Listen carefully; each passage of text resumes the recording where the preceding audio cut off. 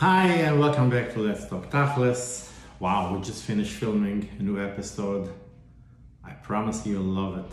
You'll find it very entertaining, I hope, I believe. I'd like to thank you all for your tremendous support, ideas, comments, and enthusiasm for this podcast. Baruch Hashem, it's growing and it's becoming popular. It's all due to your credit. You can always email us at letstalktachlisnow.com. We want to hear from you. And as you can see, we are improving as we go along, and it's all with your help and input. I'd also like to welcome our new sponsor, Caliber Business Consulting. I'll talk to you later about them and how to reach them. A few technical notes. Please subscribe to whichever podcast format you're listening to and also share it with your friends. After all, it's your home your venue, your podcast. Let's together make it successful. Thanks again for your support. It's really appreciated and it, it's evident in the market. Baruch Hashem. So let's get rolling.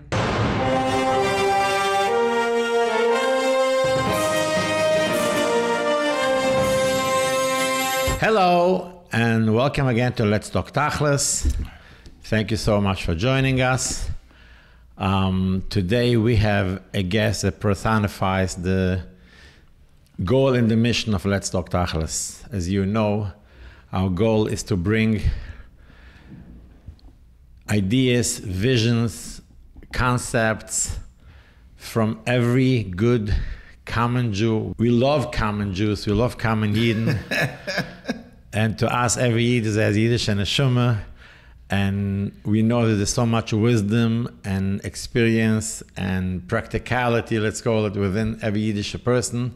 It's a special gift we got from Hashem, from the Eibishter. So today we have a very fresh guest, fresh in a good way, in a positive way. I would hope so. My friend Jack Klagsbrun. Hi, welcome. So how are you? Baruch Hashem. It was Jack, fun driving into Brooklyn. yes, Jack came to us all the way from from Toms River to good old Brooklyn. I think you have some relations to Brooklyn in your well, in your grew resume. Up, grew up not too far from here on 44th Street, 14th uh-huh. and 15th. Uh-huh. Very nice. And for 48 years, this is where I lived. Wow, I know you made a big impact on our city. That's at me.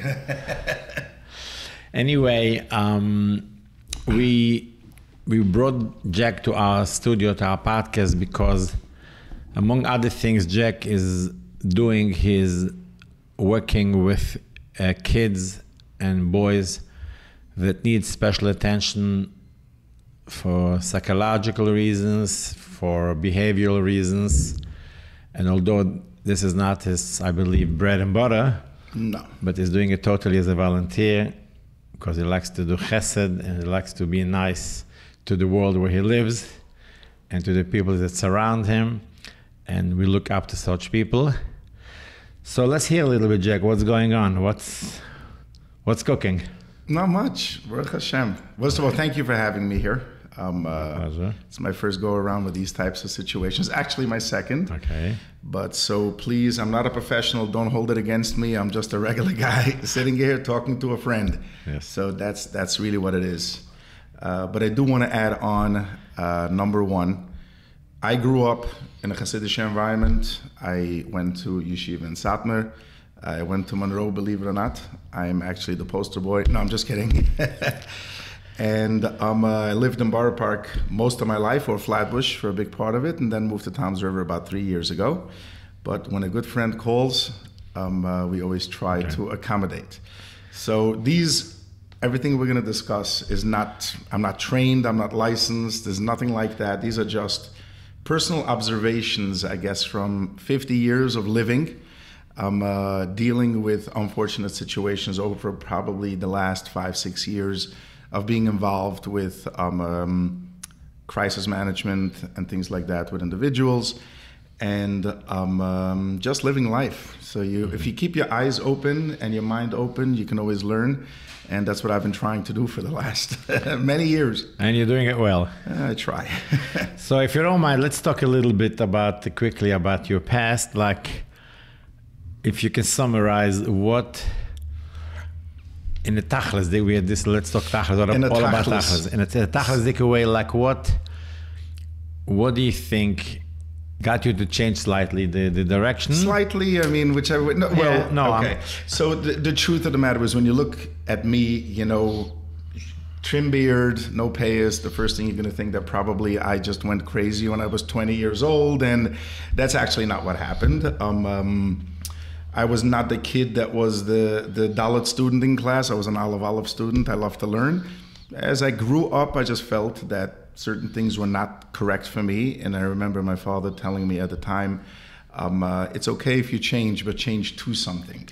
Um, and I feel that that's the biggest mistake that a lot of people make. That sometimes they run away from something that doesn't work for them for whatever reason. We're not going to get into why. That the, the why doesn't matter. It's what you do with it. And um, um, and when I, I guess, as you call it, made my slight change, um, uh, it was to Rav Label Katz that passed away. What was it two years ago?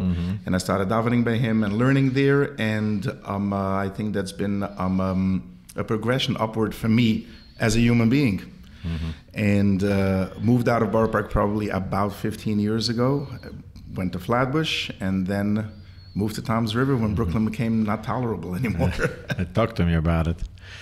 Um, so I want to, like, I feel very comfortable that you don't have any bitter memories for your past, for the way you grew up, and for what caused you, because it's a total different story to talk to people who are still bitter and still upset and still sad, versus talk to people that went through a certain change in their life and came to certain conclusions but they said I want to do it and responsible and I'm, I'm connected, I'm a Yid, I'm, I am who I am, but I feel that I can bring the best out of me in a different way, in a different style. Yeah, personally, I'm not. I'm not bitter. I'm not angry. Um, um, I have no animosity actually towards anybody. I try to live my life. My wife and I we always talk about this. That you know, a fact is a fact. Whatever happened, happened. So now you have a choice. You can either be bitter and angry with the fact, or you can be happy. The fact is not going to change. Right. So it's really a personal choice as Well, to how. I can see you still one day wearing long payas and a long beard. yeah, you would say so. Like my mother still has the hope. Yeah. I'm in good company. But I always tell my mother, I said, "Listen, I was I'm probably ehrlicher now like this than the other way." So, Wow. uh, so it's. And I'm it's, really proud of you. uh, Ehrlichkeit is not uh, has nothing to do with that. and I'm really proud of you because ehrlichkeit is the bottom line. So obviously, I see I'm starting to connect the dots and see how you shifted from besides being uh, doing whatever you do for a living that got you interested in being involved with people in crisis because you, you have a healthy approach about these things and so uh, talk to me a little talk to our audience a little bit about uh, in, in short what you're doing and, and it basically it basically just happened. So there's an organization in the five towns called Madregos. Um, uh, it's run by Rabbi Silver and a very close friend of mine, Sheil Gate, but Rabbi Silver runs the day to day. And there is a Rosh Hashanah program that they do for, I don't like to use the word the OTD because it's just, there is no such thing. Um, uh, but for kids at risk, kids that are struggling, um, uh, you know, whether it's with substance abuse, whether it's with life, whatever it is. And I was invited to go there by my friend Gilles about, or Yaakov Gate, sorry, Yaakov Gate, um, um, about 10 years ago. And we started going 10 years ago. And it's just happened. They started coming over to me and just asking me questions, simply because I guess the knowledge that I was Hasidish and that I'm not at the moment, or not. It's not the way. It's not the lifestyle that we live at the moment. And uh, they felt comfortable just coming over, talking, asking questions. And uh, one thing I saw, Hashem just always gave me the right answer to give. When it, because the truth of the matter is, it's very hard to prepare. When somebody comes over to you and says to you, "I'm an apikoidus," how to deal with this? How do I deal with that? And but I am spiritual, but I am this. And my style has always been there are other people out there that their styles are, you know, always to placate. I'm, uh, I'm a little bit more of a brutally honest person. So, Wow. and um, uh, no, I'm just, I say it the way I see it. And um, I'll tell you one story. And um, um, there was a kid that came over to me, was not a kid, was 27 years old. And he said to me, um, uh, says to me, I'm, a, I'm an Epicurean, I don't believe in God, blah, blah, blah. but I would like to come back and start taking on some mitzvahs. So I said, So what's your question? It's like, How can I work with this if I don't believe in God? How does any of this thing work? So I said to him like this I said to him, I don't want to use a name. I said, um, Pardon me, but I'm going to say something maybe that might upset you a little bit, but I feel it's the right thing, and I think it'll help you if we discuss it. That you'll not, and if you think about it, because you seem like a smart kid, let's just hear me out. So I said to him, first of all, I said, let's first establish something. You're not an apikoris. I said, you're Baltava, just like me. I said, the only difference is that you you can't you want to be able to sleep well at night. It bothers you that you misbehaved. So the only way you can feel better and sleep at night is saying there is no God. So there is no God. I didn't do anything wrong. So I said we have to first establish that there is no real apicorsis here. Uh, well, there's an old story within the Tziv. Uh, Talmud of his came to him mm-hmm. and said to him, Rebbe, I'm an. So he said to him, let me ask you a question. Did you finish Chimish, Rashi? He says, no. He says, did you finish Gemara, Bavli, Yerushalmi? He says, no. He says, did you read Plato, Aristotle? He says, no. He says, you're not an apicortis, you're ignorant. Um, uh, to be an apicortis, yeah, you just don't know. To be an upper apicortis, you need to be very educated to be able to be an upper apicortis. Most unfortunately, in the situation that we find now, kids that are struggling, they like to use the word apicorsis and kfira, is because I use that as a as a tool to get attention more than anything. Um, um, it's and, rather, and I, and I, think to run away from reality. It's, it helps you obviously because if your reality is and you're brought up that there is a, a Hashem is that is there, you know, and unfortunately being taught in the schools that he is the god of punishment, yes, you don't want to deal with that. So the easiest thing to say is I don't believe. So I said, first, let's agree that it's not a not believing, it's just you want to be able to sleep at night, and that's okay. There's nothing wrong with that. I said the second question that he asked me was, but how do I get back to Yiddishkeit? I want to know that Hashem's work is going to accept me. I said, okay, I get that. So I said, let me just ask you a question. I said, if you approach life with that thinking, you'll never get married. And he looks at me and he was a little upset at me. He's like, What do you mean I'm not going to get married? What's the connection? I said, Very simple. I said, You meet a girl, you start talking to her. Uh, you take her out, spend a lot of time with her. And there you don't question that you want to know I'm only going to spend the money and the time is if I know for a fact she's going to love me.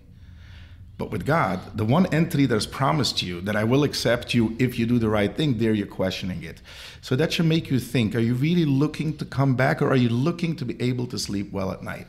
I've tried. I'm not sure Hashem is going to take me back, so I'm not even going to start. I said, but you, that thinking is not real. That's just an out. And that was my first conversation when I started, I guess, getting involved how, in this. How did he take it? He was a little bit, he was actually a very smart kid. Um, um, he's in banking, he's a smart kid. And, and he was initially, he was a little bit taken aback by it, but then he thought about it and he came over to me and said, okay, so what mitzvah should I try? Shabbos with film. I didn't know the answer to that. I asked, and I was told that Shabbos is, is the bigger one. That that's the Shabbos is the is the one to try, and he still struggles. But he'll tell me from time to time, so listen, no, I went to shul, I did this, I did that. I was waiting That's to hear that he's a big rabbit. Uh, no, he's not passing. He's not passing any shilas, but he is trying. But he's trying to get better. He recognized. He recognized that what he was doing is he's trying to find an answer to be able to live comfortably with a mis- with a misbehavior, and that's really what it boils down to it's be honest with yourself. Just, just I've always said, just be honest with yourself. To all my friends, if, if I talk to somebody and is misbehaving and he starts coming up with a million things, says, stop it.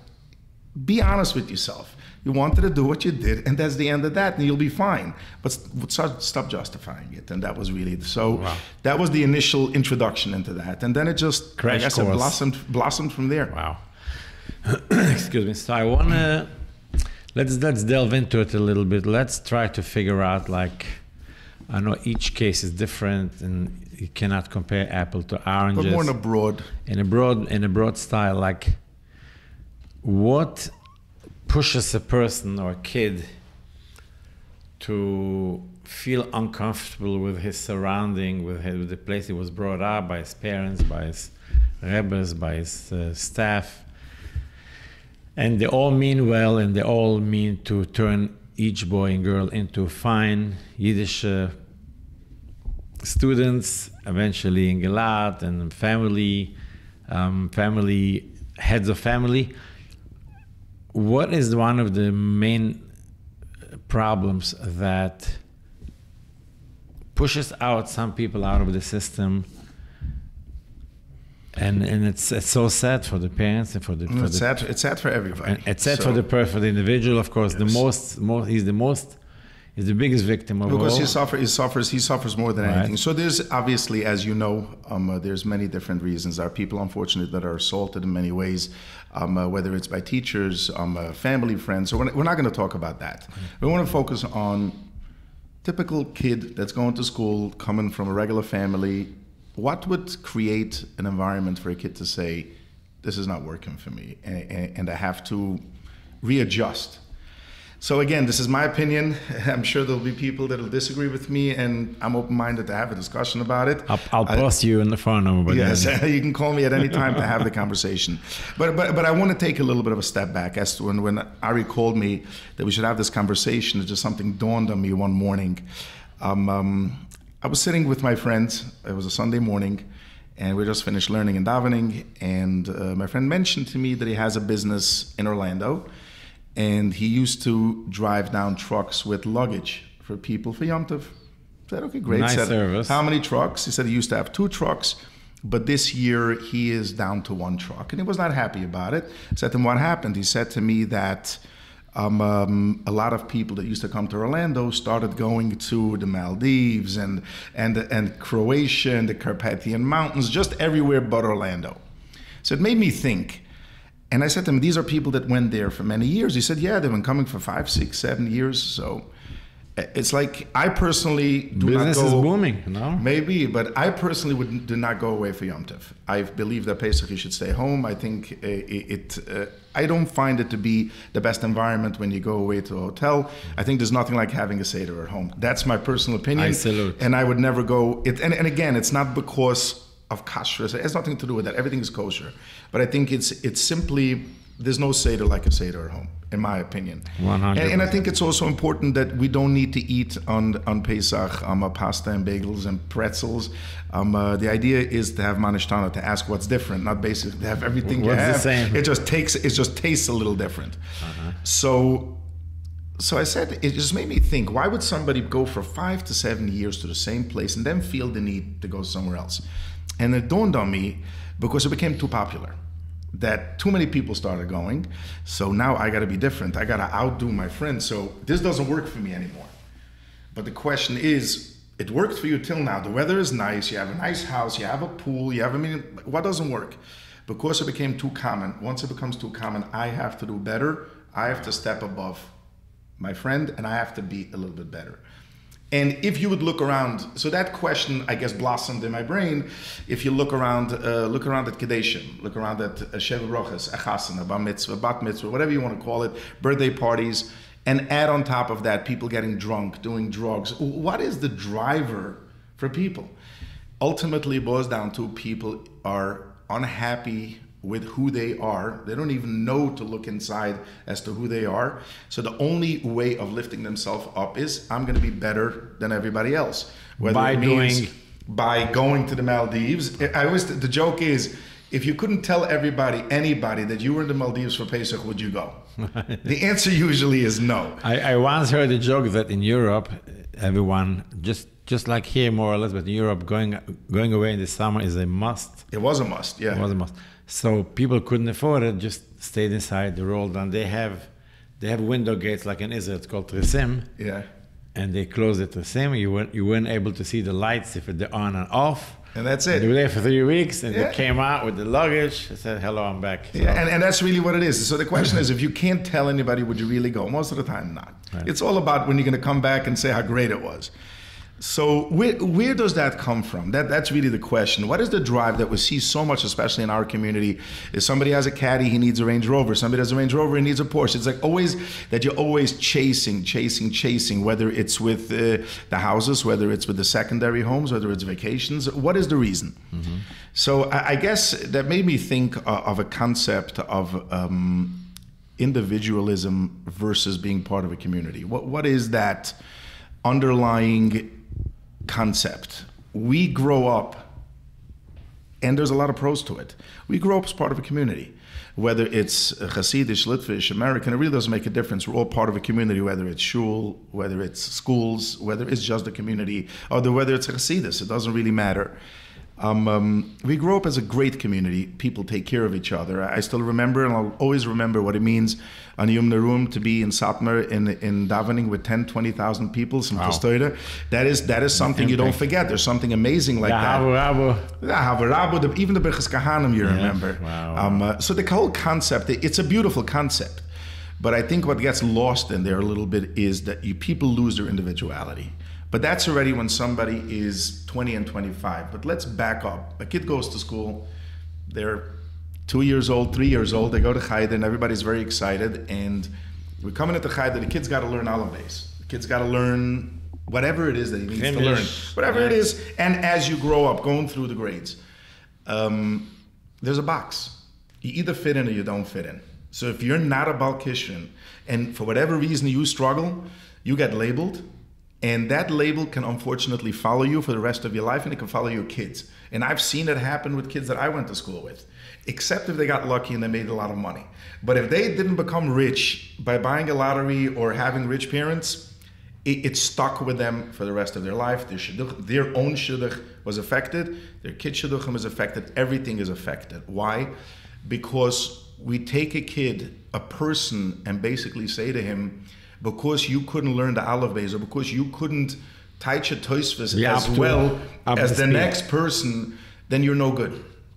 And there's an old saying, um, uh, you know, Albert Einstein said that if you if you judge a fish by its ability to climb a tree, it's always going to think it's an idiot.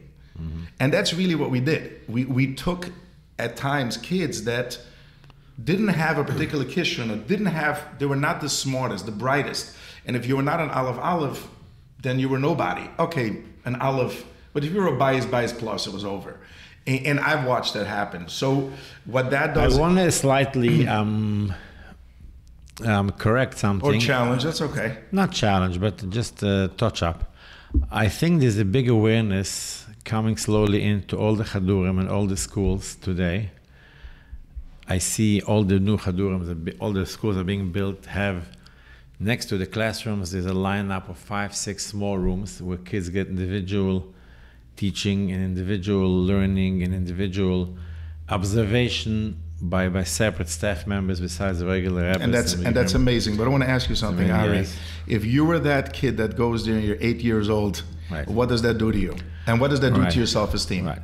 So, the kids, when they're bullying you, they're busy telling you that you're the dummy that has to be in special ed, call it, for lack of a better. Correct. So it's it's it's still not worked out so well to to bring in a little pride or a little bit dignity.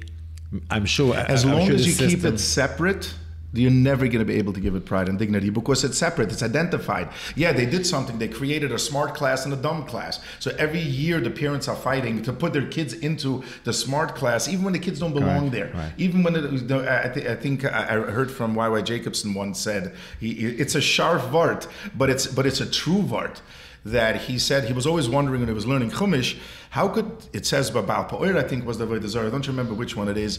And he said, how could parents do that with the fire and everything, killing their kids?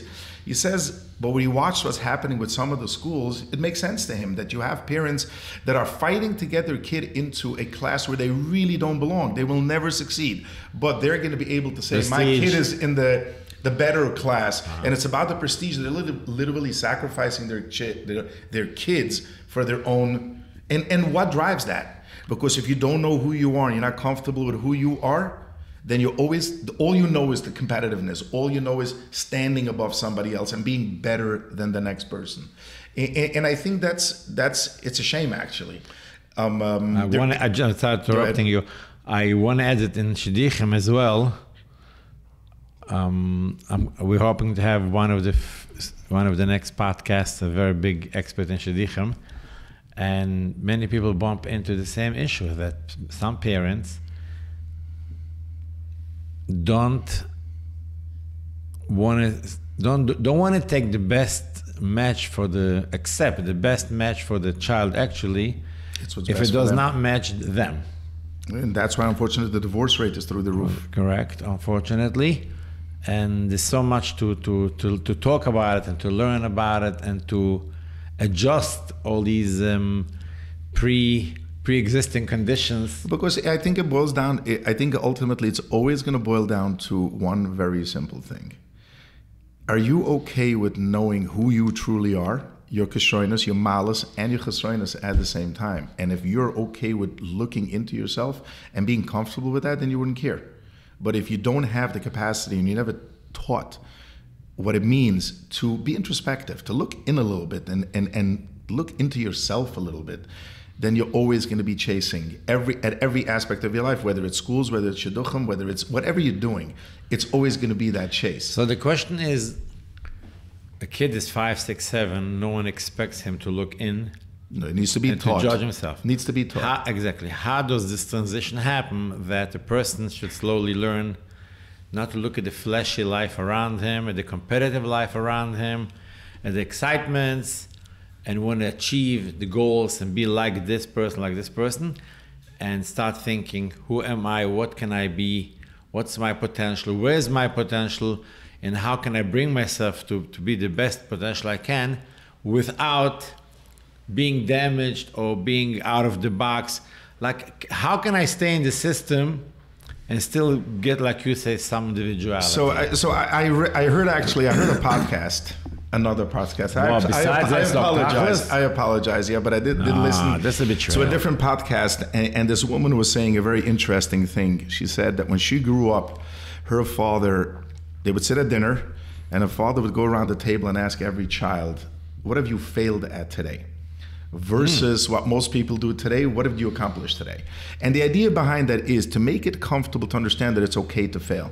Um, uh, for people that like baseball, So let me talk to you a little bit about our new sponsor, Caliber Business Consulting. In business, just in our personal life, we all have ideas and plans we'd like to implement so we can be more efficient, more profitable, and more successful. Most of us often are envious when we see our competitors doing things so smooth and so effective, but usually we're stuck and we're having a difficult time to figure out how to actually change it.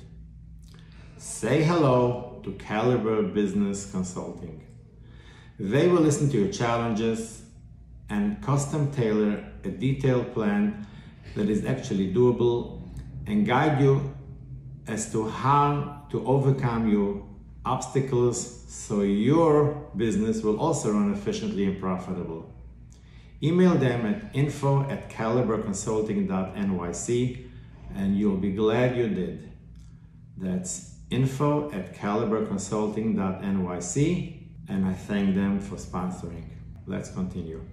And we all know Reggie Jackson, and we all know the greatest baseball hitters in the world, but we don't. Nobody ever remembers how many strikeouts they have. I think Reggie Jackson was, I think, the, the leader in strikeouts. How do you know? Jesus Uh, somebody just mentioned it to me. I don't know those kinds Come of things. on. And look, even at Thomas Edison, how many times did he fail till he invented the light bulb?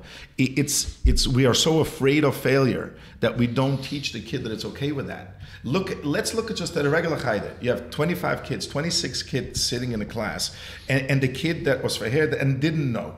But maybe he's about maybe he's an unbelievable chesed. Maybe he is very warm and and he's got tremendous loads of empathy. And but what now happens is he's now the Rebbe puts him down, or maybe doesn't put him down, but doesn't make him feel makes him doesn't make him feel real good. Let's be real. And the kids, I'm sure, mention it when they're fighting with him or whatever. It gets mentioned. A stech here, a stech there. You take his kashroinus and you made it all about one thing, and everything else gets pushed to the side. And that, the concept is to now. I don't believe in participation trophies. I think that's just ludicrous. Um, um that's I'm sure you know what Well, yeah, those things are. Maybe you Um, explain uh, to the audience in short. yeah, and it just as long as you're here, you get a you get that doesn't make sense either because obviously you get you get You count for a purpose.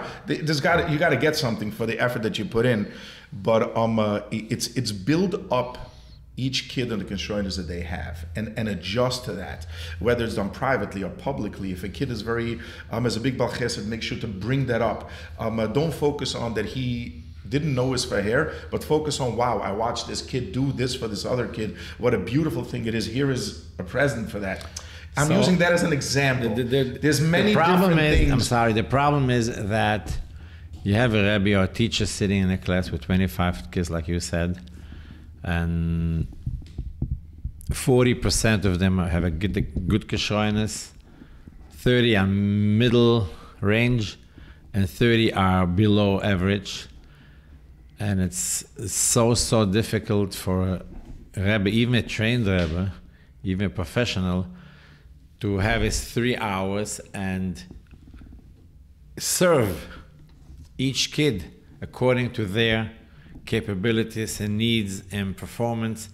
It's, al- it's almost in, uh, uh, impossible to That's it's definitely impossible. So- but so but I actually heard something, and I just remembered now while, while you were asking that question.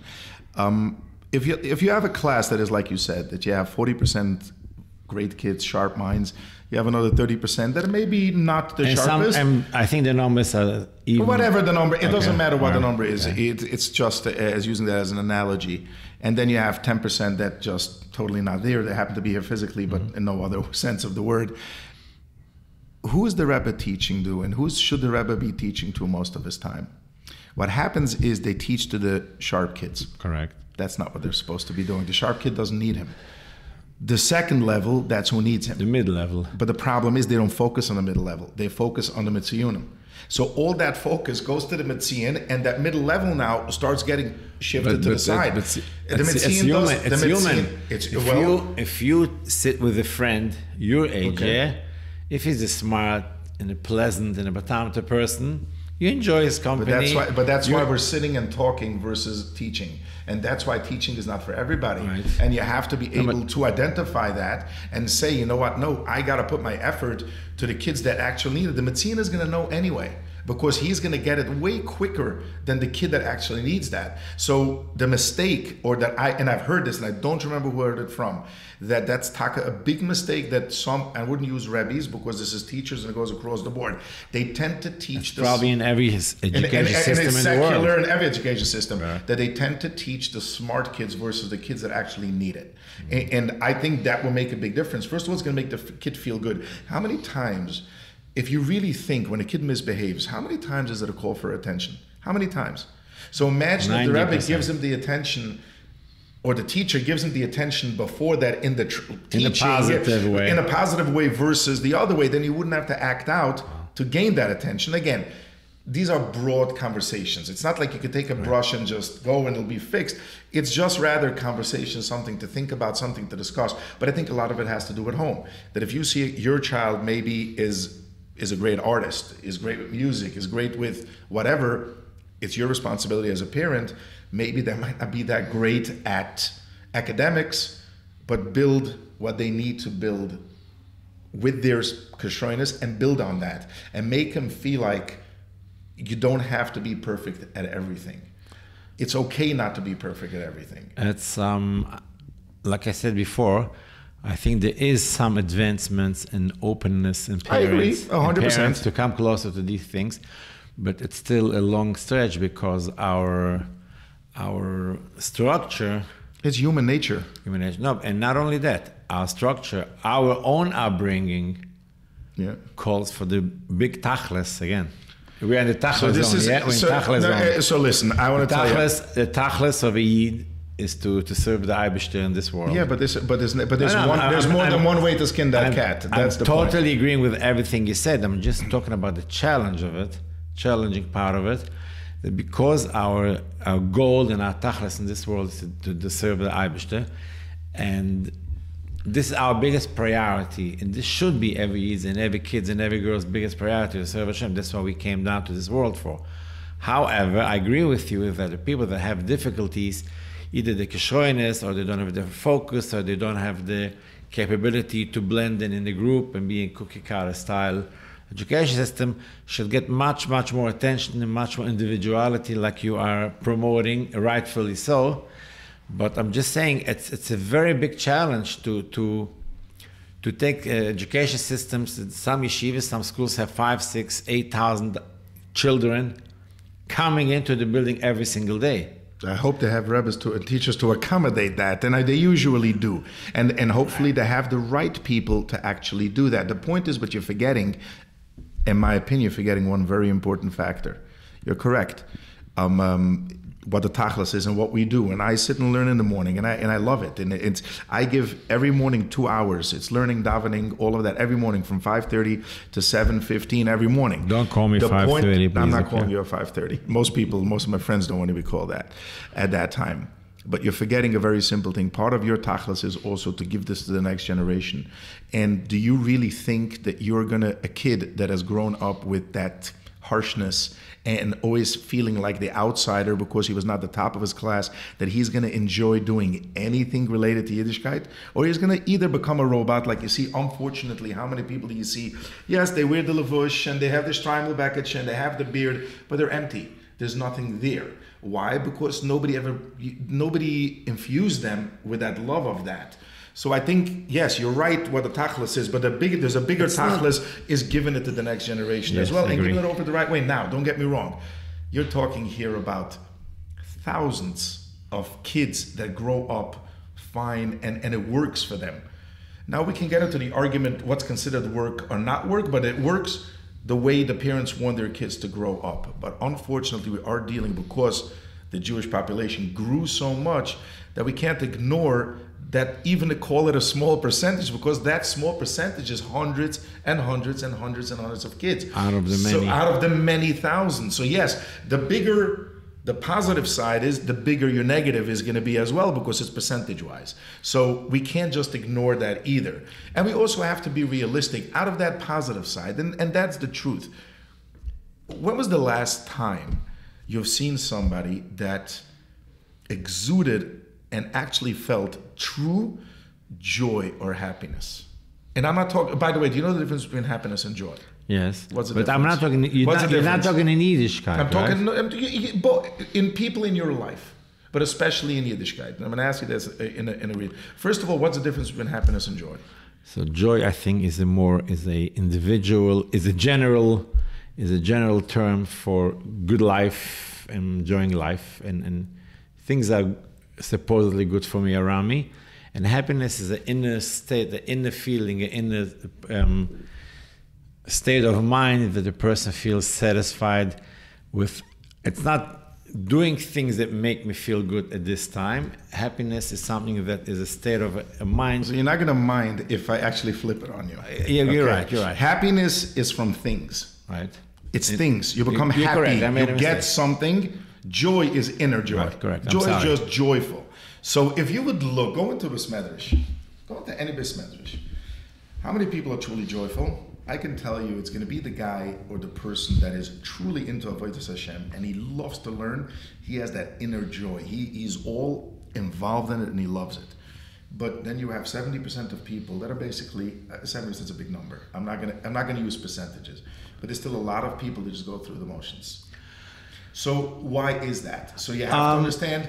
Again, I want to shift the numbers a little bit. Shift it. It doesn't matter. It's not about the amounts. It's not right, about right, the amounts. Right. I'm trying to make a point. The point, the point, I'm trying to make is the mechanicals. The, the, the, it's it's about when you don't feel it when it's not been infused in you from a place of love and a place of accomplishment and a place of competency then it's more becomes more i'm just going to go through the process. You go through the process listen i'm part of a community i'm not an individual just part of it i have no choice i have to put up with this. So what ends up happening is when nobody looks they misbehave or they think nobody looks but their kids always see it and the kids always feel it so who ends up suffering?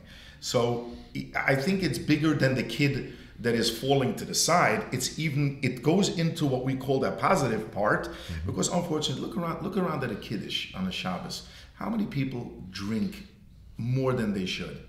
How many people, unfortunately, now became the norm is do weed more than they should? Why are they doing this? What's this need for this? Because there's such an emptiness inside, and they're always trying to find themselves and just look for anything to not make me look here. I keep myself busy or whatever I can, just not to look in here. And that's why you have, in my opinion, and I'm sure a lot of people are going to hate me for saying this, that's why you have the private planes constantly. That's why you have people dropping hundreds and thousands of dollars in steakhouses, sitting with friends and whatever, uh, drinking and doing drugs and doing whatever they're doing. It's because they can't fail. They cannot afford to look inside and just take a step back and just just look in there. They can't handle it. So let's let's talk tachlis. It's it's almost unreasonable to expect from the system to to to cure and correct this this big this big uh, failure. How how, how do we a make failure. it then? I, I wouldn't use I wouldn't No. use I wouldn't use the word failure No, because it do- works do- for no, hundreds and thousands of people. Correct. But I'm talking for the individual people who are who feel who feel like a failure. So in, in my humble opinion, in my humble opinion, it's it's learning to be okay that you're not the best at everything. But how do we? It how starts. do it starts. It starts when you're younger. I was going to say I want to focus a little It's intro, it's it's introspective. It's about learning to to build up your child at things that they're good at. Yes, there are times you got to punish a child. it's very normal, but we got to build up. We got to build up. Our, I mean, you know, we use the word child, and that's really you know that's wrong. I guess to a certain extent. I guess build up humans. You know, I try to make an effort. We have a million, a 630 million that I started about two years ago, and Baruch Hashem is going great. And I make an effort when somebody walks in the door is to greet them by name give them a hug at this or that. How you doing? How's it going? We never know what somebody is going through and what's going to make them feel better, and that's on a very broad Broad level.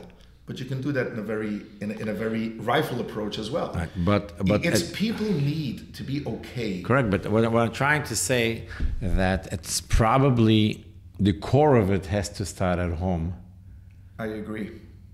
because number one, there's no way, there's no, it's no possible way for a system to accommodate and cater and serve so Kid is- many and a kid is more at home than in school. So Correct. i- it's it's it's got to be at home as well. So this is really is, uh, another podcast we need to have is to talk to the parents and not to talk to enlighten them and and bring them into the to the reality that they have the biggest uh, not only achai, the biggest possibility and they are the only tools that can start validating the kids for who they are for what they are and, and for what they have, and I, I think parents have this problem competition within within their own within children. themselves. So within their own children. So I, I'm a big believer. You know, I, I've been for 31 years. I like to work out. That's one of my mishigas and some things that keep me sane. And Yeah, you people- look in shape. And people always ask me, um, uh, like, how do you do it? How, and I always tell people, just be aware.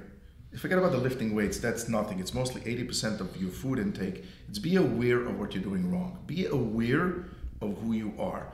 Be aware of what's going well for you in life. Don't always focus on what I need to beat. Focus on what's working for me. I, I, I think I, I mentioned you a while back when we talked. Uh, We wake up in the morning. What's the first thing that we say is Modeh Ani? I mean, there's a million things you could say the first thing you wake up, or maybe we say that in shul. Why is it so important to say that as soon as we wake up? Because I think the first thing is extremely important is to say, I'm thankful for what I have. I'm thankful that I can see. I'm thankful that I'm breathing. I'm thankful I'm not in a hospital bed. If you start becoming thankful, and and and recognizing of what you got going for you, then you can start building on something. But if you're consistently fighting the uphill battle and fighting and fighting and fighting, you can't focus on what's working for you. And those two things, Don't- they, don't they, they're mutually exclusive. They don't mix. Um, um, I want to add a acute acute word to what you said. The end of Moedan it says Rabbah Emunasecha. Yeah.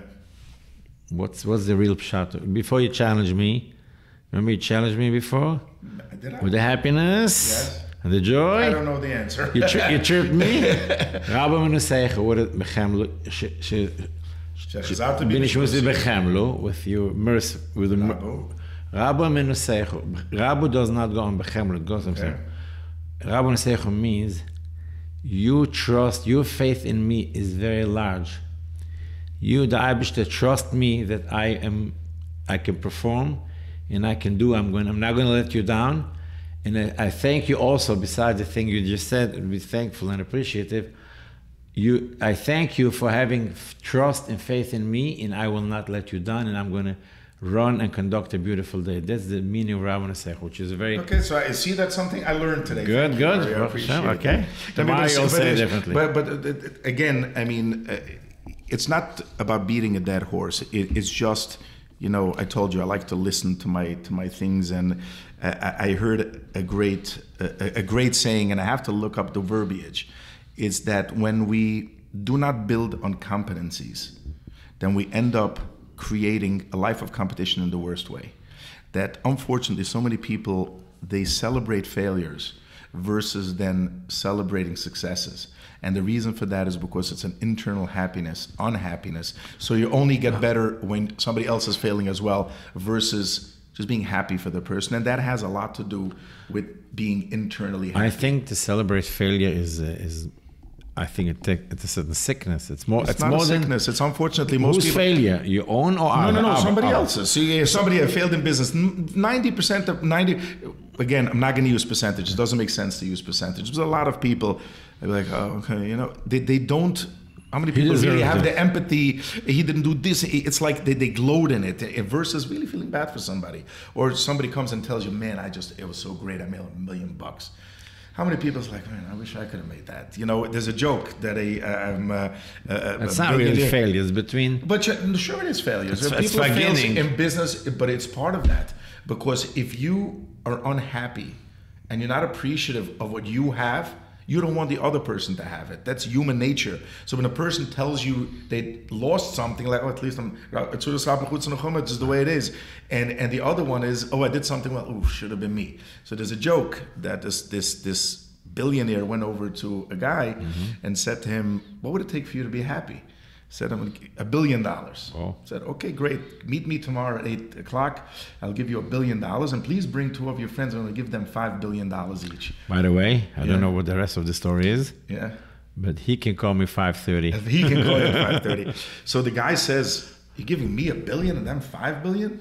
Wow. The guy says, "What do you care? You just said for you to need to be happy, need a billion. What do you care what the other person is getting?" But that's the way our brain is wired. So you need to always try to to overcome that. And and I think again that starts when you're little. It's about appreciating effort. So that is the point. Yes, you can't. You're not always going to in business. You're not. Effort is not going to get you to the top. But when you're growing up in an interpersonal relationships, if somebody is making a real effort in something, we got to appreciate it. We got to show them it's okay. And that's why I really appreciate the dad that says to a child, What did you fail at today? And he would say what he failed at that day. Because a kid looks up to a dad. So they want to see that it's okay. It's not the end of the world. And the bigger part of it is to learn to be comfortable with yourself, to being honest with yourself. How many times we just we're dishonest to ourselves because we try to convince ourselves of something. Being honest with yourself, being introspective, looking into you, and being comfortable with that, it takes a long time. And I still struggle with it, but I I, was still gonna ask, fight it. where are you? One to ten. I am probably started out as a one like everybody else. Um, uh, but for me, hiking is my thing. That his brother, I figured out what his brother was, by the way. His brother was hiking. We call it his brother this, but it's going walking in the woods. What that was was going on in the brain while while you're hiking The truth is, it's what you wanted to, and the idea is to be able to unplug and let go. For me, it's simply about just just thinking, and it doesn't matter what the thought is. I'm not afraid of. it. I'm not that afraid of it. I'm not going to say I'm way far from perfect from it, but I at see least I try. You're getting away from giving me from giving yourself a mark, right? I give you a mark. I would say my mark now is probably between a five and a six. Oh, nice. It took Over the me, hill. It took many years to to get to the place where I'm not that afraid of myself. The only downside to that is then you blame yourself too much for things. So it's that there's the No, I other side of the I wouldn't coin. worry about you Oh yes, blaming trust me, I do. I do. I do. My wife always yells at me. She says, "Stop faulting yourself," because I'll always say, "What did I do wrong?" But that just but that took me years, Right. and I'm way far from perfection on this one. But the one thing I do want to give a mention to, and I'm sorry, I gotta Yeah. look this up Okay. is you asked me about what could be done. There's a school in Lakewood.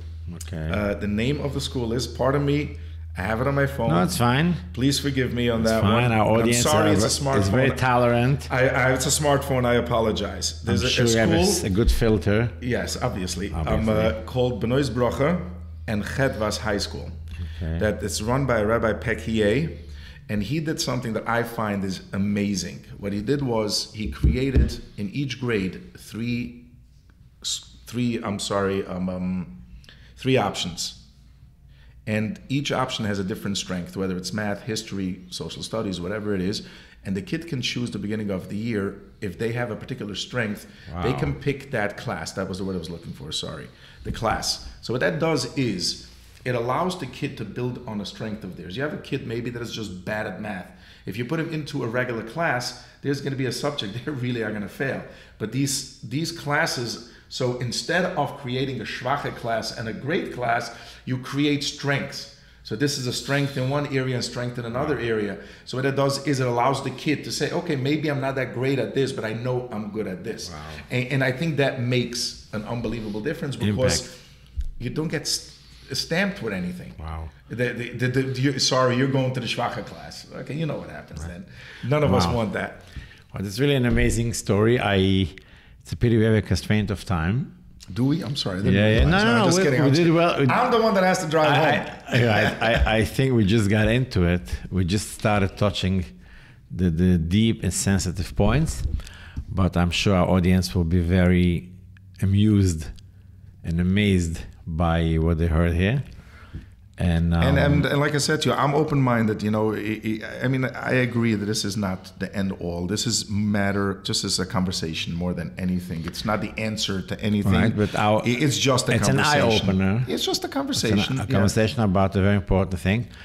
And we have to ask for Siyata Deshmaya that we should Nothing works without it. correct that all our mechanchim and all our the people who are in charge of the curriculums and all the yeshivas and all the chadurim and all the schools should have the siyata d'shmaya to to guide and and steer the ship. I would add a right little way. The- something the, to that. The individual ships. They each- should have Siyata yeah. To not let their ego get in the way. You're not gonna like that, but No, no. unfortunately, I know you're not gonna like that. But No, because because Focus on I don't want. I don't want to. It's not I don't want to open this. I'm not disparaging anybody. All I'm saying is it's very easy in these situations to you have negias, you have certain negias. That's what I'm saying is that if Siyata Deshmaya, that the negias should not be, be there. That's Listen, what I'm Siyat trying Shmaya needs for everything. However, I am strong. A very my, my strong opinion is that all mechanchim try their best. Yes, I agree with all you. work hard. That's why I it's said they need very, Siyata very- for that. Yeah. And it's very, very difficult to be a mechanech and to have so many, besides your own, your own, the, your own bag that you bring to to to, to the moiset every day. So many children, like we spoke before, different types, different natures, different levels You got to deal with a million things. That's and why I'm not a teacher. and the management, yes. But however, so I don't want to focus and start the Pandora box to talk No, no, about. no. I just, the, I just said that's why I added it on just, just as a note, just as a. so, like, it's- for it's- for the sake of D'Shmaya, it's worth mentioning. Yes, we should all have Siyata D'Shmaya, and I really want to thank you for My pleasure. for It was a lot to- of fun. Yes, it was, and it was it was a, a deep conversation that I didn't expect we are going to go to this direction, but I'm always ready for I hope good you survived. surprises. Your blood pressure is okay. Yes. Okay. Just and we making sure. invite our audience to share the thoughts, the feelings. And Bring it. I look it. forward to it. I got no issue. Yeah, I'm not going to tell him everything you said about him. And if it's bad, oh well, that's life. Uh, that's that's- called being okay with failing at something. Yes, if I well, failed, You better. Uh, but but if you come at me with something, uh, d- let it not just be an opinion. Back it up. If you're gonna teach me, educate me. I got no problem yes, with that. You're ready. You're a sponge. You're ready to be educated. I try.